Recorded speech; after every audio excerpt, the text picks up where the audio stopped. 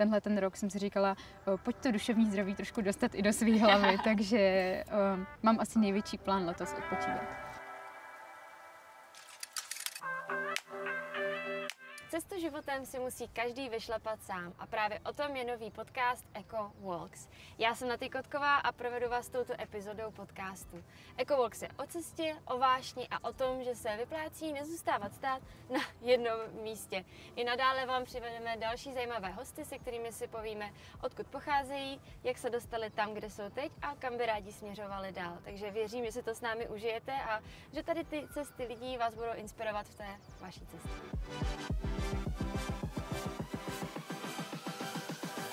Pokud hledáte inspiraci, která nemá období, tak eh, se pěkně posaďte, nastražte uši, ať už děláte cokoliv, nebo klidně můžete jít s náma na procházku, protože mám pro vás hosta, který nevím, jak stíhá všechny své aktivity, má jich plno.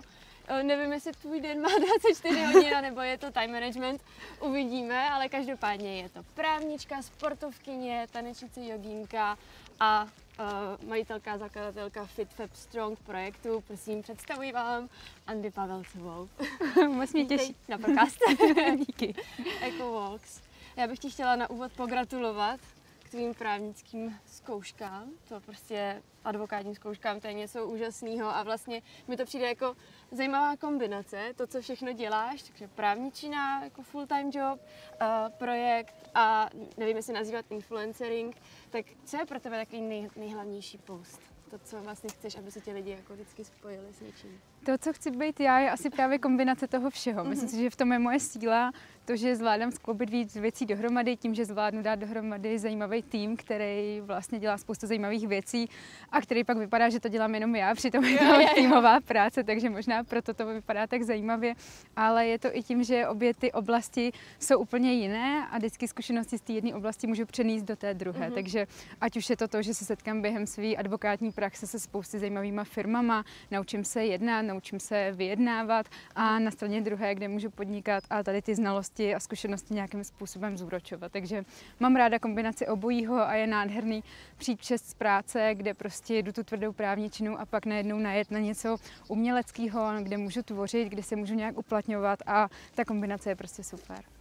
Jo, a když jsi byla malá Andy, tak jak jsi představovala svůj budoucnost? Měla jsi jako cíl být ta právnička, to je to, co jsi vždycky chtěla a pak přišel sport, nebo tak to, to jsem to přesně první. takhle neměla. Nechtěla jsem být právnička, já jsem chtěla být tanečnice, jít mm-hmm. na mhm. konzervatoř, ale protože můj starší brácha už se dal na kariéru houslisty, tak rodiče řekli, že tohle teda rozhodně ne a že někdo bude dělat v rodině něco normálního. Mm-hmm. Takže mě bylo tak přisouzeno, že půjdu na práva, tak jsem nějak tu roli vzala za svou. Říkala jsem si, udělám rodičům radost a vlastně proč ne, možná by mě to bavilo. Jo. A až vlastně v průběhu studia té výšky jsem si říkala, že možná bych mohla přece jenom se vrátit k tomu svýmu snu a dělat nej nejsem sice tanečnice v Národním divadle, ale to bych taky byla ve 35 v důchodu, takže vlastně je to docela fajn, že jsem si vybrala takovou zlatou střední mm. cestu. Tak ono se říká sportem ku zdraví a ono, když ano, to člověk přehání, tak... Profesionálně už to není úplně ono. A sportovala si teda od malička, anebo jak se dostala k tomu, že založíš sportovní projekt? Hmm. Jakože mi to přijde, kde, kde vlastně se ti vnukla ta idea toho, pojďme založit projekt. Já jsem vlastně od jak živa s rodiči sportovala, takže tanči, tančila jsem, jezdila jsem s nimi na kole, různě na lyže a tak dále, ale pak jsem přišla na výšku, začala jsem, řekněme, trošku kalit, začala jsem si užívat ten studentský život a za dva, tři roky mi došlo, že takhle ten život opravdu víc nemůžu, tak jsem mm-hmm. začala běhat, cvičit jogu, chodit do posilovny a... Takže to bylo zdravotní, nebylo to, Bylo že... to spíš zdravotní, jsem se vlastně necítila dobře ve svém těle, takže bylo to takové, že jsem chtěla trošku změnit obecně ten svůj životní styl. Ten stav ženy v určitém věku, se necítí dobře, tak začne přesně, hrotit. Přesně, anebo vidíš někoho po dvou letech a on ti řekne, ty jo, ty vypadáš úplně jinak, jsi v pohodě, takže jako... Já, já takový takže takový fajn dotazy. Mm-hmm. A nakonec jsem se dostala k tomu, že můj přítel je programátor a tenkrát se učil programovat a ptal mm-hmm. se, jestli si nechce založit nějaký web, blog, že by mi ho naprogramoval, aby se nějak zkoušel, jako, uh, aby se nějak prostě uvedl do té praxe. Tak jsem řekla, OK, tak pojďme sdílet moji fitness cestu, můžu o tom psát mm-hmm. a díky tomu, že jsem tenkrát pracovala v marketingové agentuře, tak mě tam naučili, jak vlastně ten web eh, nějak trošku rozjet, takže se mi najednou podařilo získat hrozně moc čtenářů v krátkém uh-huh. čase a pak už mi tam jenom nějaký fanoušek jednou napsal pod nějaký blogový příspěvek, jestli bych nenatočila nebo jestli neznám nějaký zajímavý uh, český fitness videa, jestli bych doporučila a zjistila jsem, že žádný takový úplně nejsou, tak jsme se rozhodli uh-huh. natočit a z toho vznikl můj projekt FitLab Strong.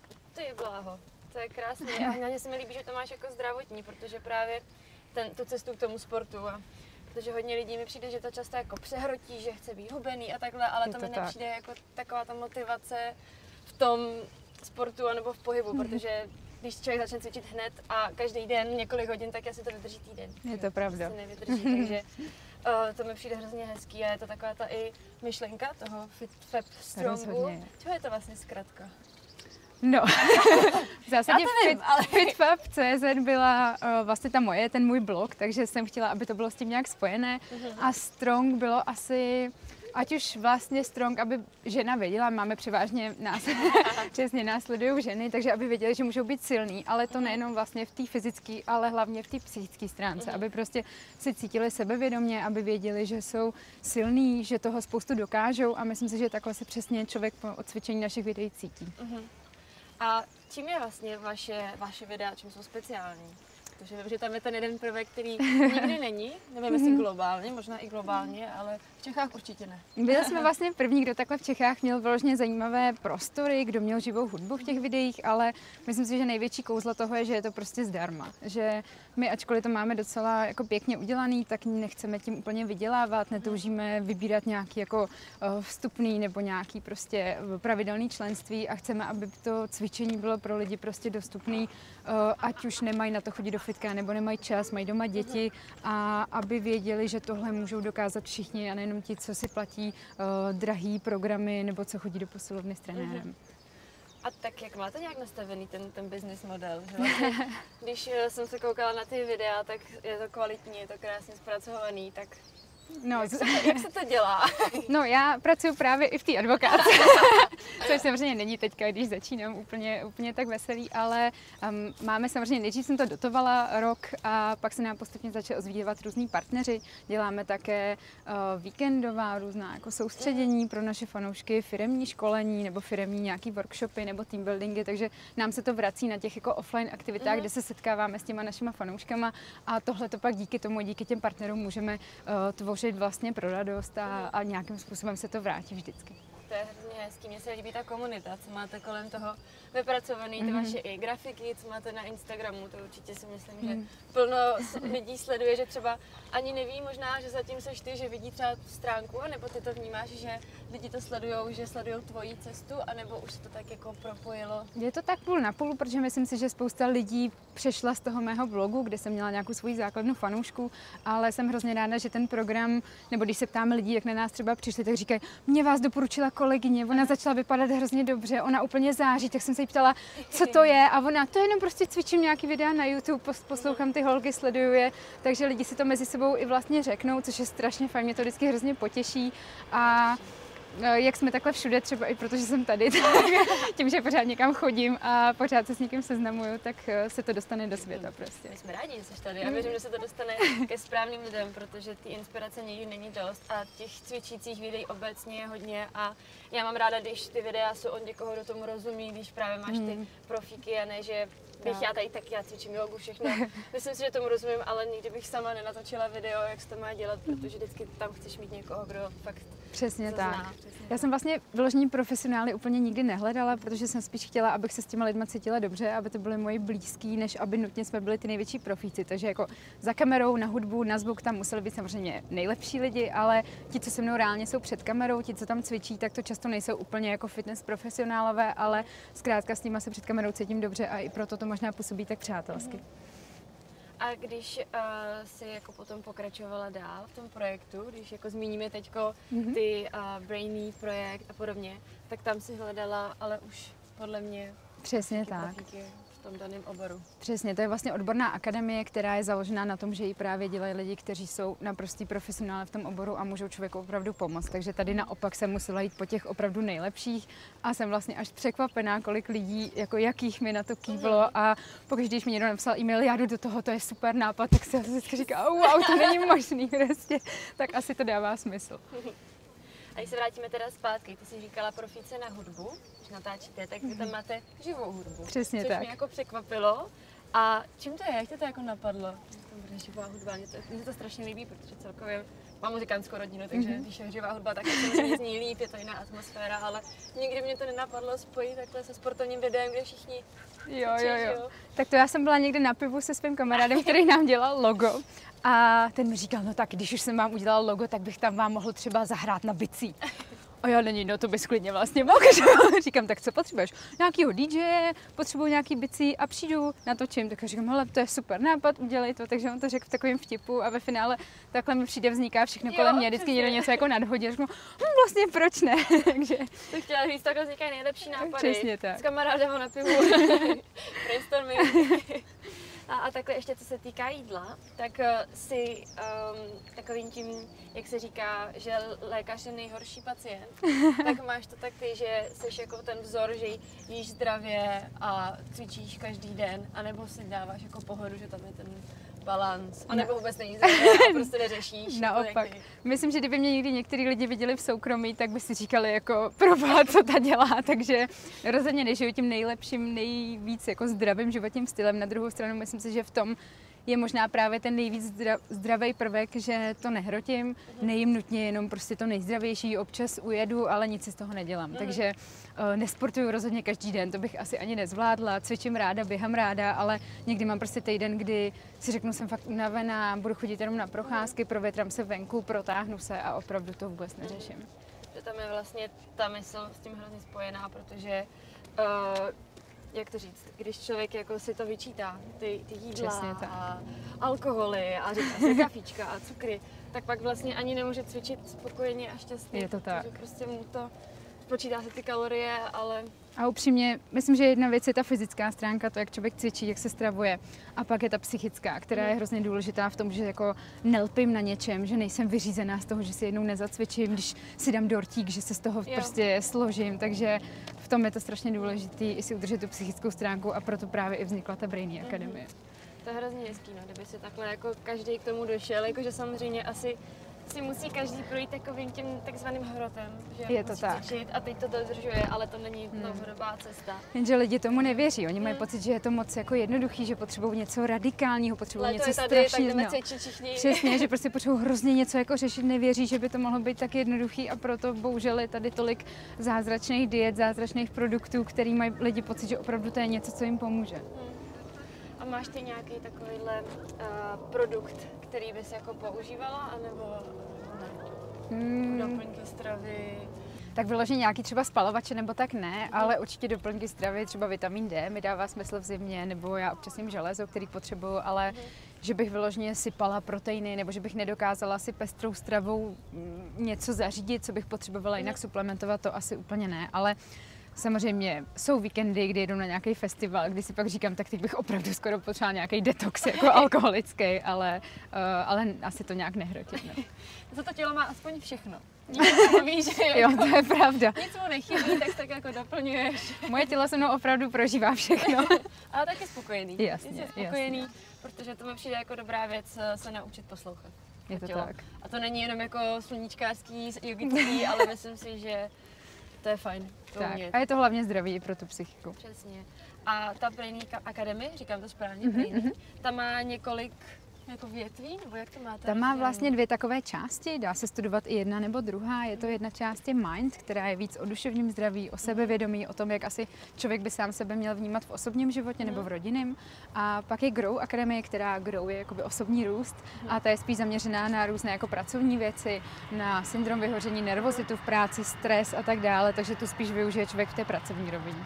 A nějaká ta jedna část, to je tak ne jak dlouho? Kolik tam je tak videí? No je tam lekcí asi 30 a každý má tak půl hodiny, některé trošku díl, takže my to studium máme rozvržené do půl roku, aby člověk vlastně nemusel to studovat každý den několik videí, ale mohl to zpracovávat, protože si pamatuju, že i u toho natáčení jsem slyšela jednu tu lekci a potřebovala jsem to hrozně si to někam napsat, říct, jak to mám vlastně já, zapřemýšlet nad tím, jakým způsobem nad tím uvažuju, takže je hrozně fajn, když na to člověk opravdu má ten prostor si to projít, si to třeba pustit i znova během toho půl roku a na konci celé té akademie je vlastně takový test, který ne, že by prověřoval znalosti, ale tak člověku připomene nějaké jako zajímavé otázky, které vlastně ho donutí nějak přemýšlet nad tím, co, co se v té akademii naučil a na konci, když teda zvládne ten test, kde vlastně musí splnit nějakých 80%, tak dostane certifikát, což ne, lidi hrozně rádi dělají, vždycky to postují na Instagram, jo. jako mám hotovo, takže je to takový fajn tohle s nima sdílet, tu radost. Jsem psychicky labilní, nejsem, jsem v pohodě.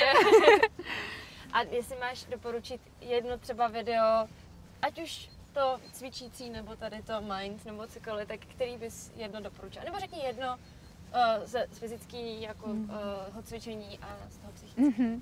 Myslím, že tohle je hrozně individuální, takže i já mám každý den, každý ráno chuť na něco úplně jiného a myslím, že to je právě i ta síla těch našich cvičení, že my máme natočených třeba 70 nějakých lekcí a každá je úplně jiná, každá mm-hmm. má jinou dílku a tím vlastně chceme lidem dopřát to jako pojďte si dát to, na co zrovna vy teď máme chu, máte chuť, takže uh, nějak to individualizovat, ale třeba dneska, když jsem se probudila, tak dneska jsem se vyspala dobře, oh, takže bych si dala nějaký delší posilování na vršek těla a z brainy videí asi mám nejradši video, jak zatočit s nervozitou, protože v práci se setkávám se spoustou situací, kde uh, jsem nervózní a kde bych s tím mohla pracovat. To jo, no, to nervozita. Jaký je jeden jako trik proti nervozitě? Jaký to nádech, výdech, hluboký?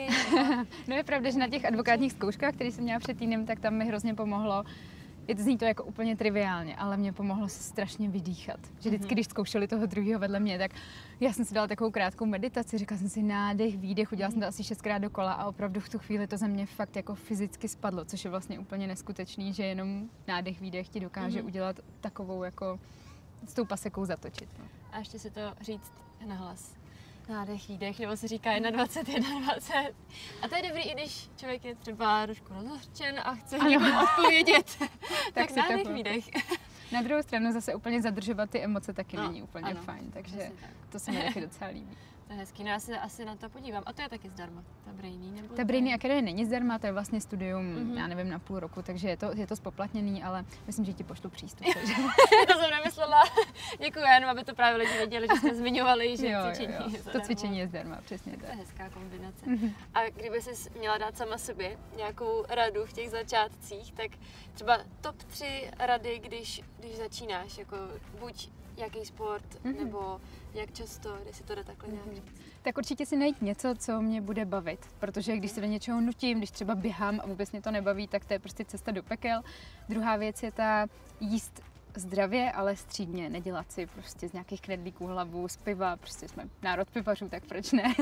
A to poslední je asi nedělat si z toho těžkou hlavu a zase se dostávám k té psychice, mm. uh, že vlastně přesně, když ujedu, nic si z toho nedělat, když prostě mám špatný den, když jedu na dovolenou, tak prostě nesnažit se tam, když jedu na nějaký all inclusive, tak proč bych si tam měla jíst jenom saláty, jo? že prostě, že jo? Přesně, že dovolená není místo, kde musím každý den cvičit, prostě týden to přežiju a nedělat si z toho tu těžkou hlavu mm. a mhm.